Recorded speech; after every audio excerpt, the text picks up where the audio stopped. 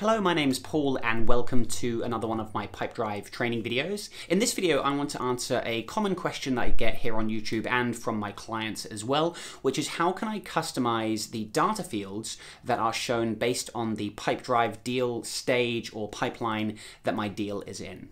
Now, while you can't technically disable fields for different pipelines, I am going to show you a workaround for how you can make different fields more visible or hidden based on the stage or pipeline that your deal is in. Now, if you have any questions at the end of this video, please feel free to leave me a comment below. And if you want to get more one-on-one -on -one help with Pipedrive, setting up your account, training your team, or automating your sales processes, then have a look in the details below this video and check out the link in the description to learn more about my Pipedrive consulting options. Okay, so let's get into this video. Okay, so here we are inside one of my deals in Pipedrive. Now, there's a couple of features we're going to utilize to customize where different fields show up in my Pipedrive account. Um, as you can see right now, I have some details showing here, some of these fields showing, and I have some important fields as well. And if I show you what that looks like in my settings, you can see uh, these are my fields that I've set up and you can see a couple of them are marked as important. Now just to explain a couple of concepts here so you understand what's going on. When you create a field, you can decide if you always want that field to be visible in the detail view or not. So you can see that most of mine are visible. Things like booking time are not visible.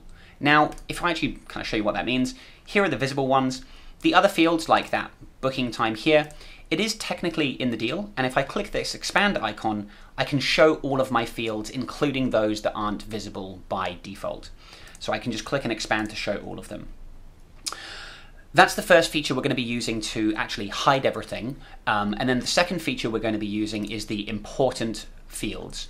So when you set a field as important here, like deal source, you can see I've said that for both of these pipelines, if this is not filled in, I really want to highlight that field as being important. Same with this one here, this referrer field.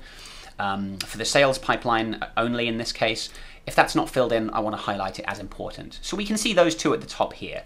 And if I fill in deal, deal source, website, and save that, you see it actually fills in the detail down here. So those are the two features we're going to be using. So now let's actually customize everything. So what I'm going to start by doing is I'm just going to hide everything by default by clicking into each of my custom fields and unchecking this option here to make them always visible. So I'm going to go ahead and do that now. So you can see now uh, for all of the data fields here um, on my for my deal settings, none of them are set to be shown in the detail view, and I've actually removed all the important settings as well. So if I just refresh my page here now, we should we should not see any fields on my deal. Uh, actually, the deal source we are seeing because that's actually filled in. So if I remove that now, you can see I'm not actually seeing any details here. Again, they are technically still in the system, and I can expand and I can see them, but I've just hidden them all by default. So that's step one.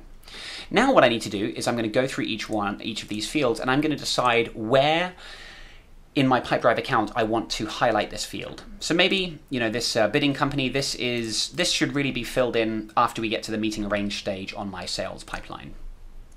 Uh, booking date, maybe let's just say that's any time during the sales pipeline we can fill that in. And uh, booking time, let's just do the same thing for that pipeline here. Oh, and uh, let's turn off required for now.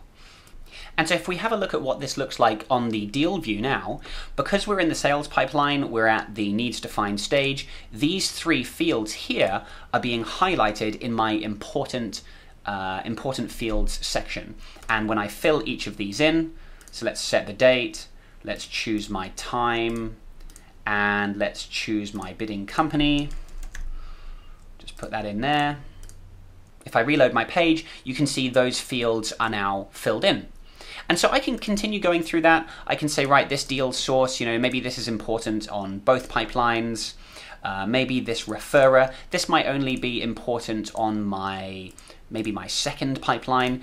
And so I can just keep going through that uh, list of settings, deciding where I want certain data fields to be shown or hidden based on the different pipelines and stages. So just a quick recap of those steps. You basically want to hide all of your fields by default, make sure they do not appear in the detail view. And then we're basically just going through uh, field by field and deciding at what stages and on what pipelines do we want those fields to appear. So this is just sort of a bit of a workaround. The important field settings, um, it's not technically, it wasn't meant to be used this way, but it absolutely can be. And so it's a nice way to customize how your uh, Pipedrive account looks or what your deals look like based on the different stages.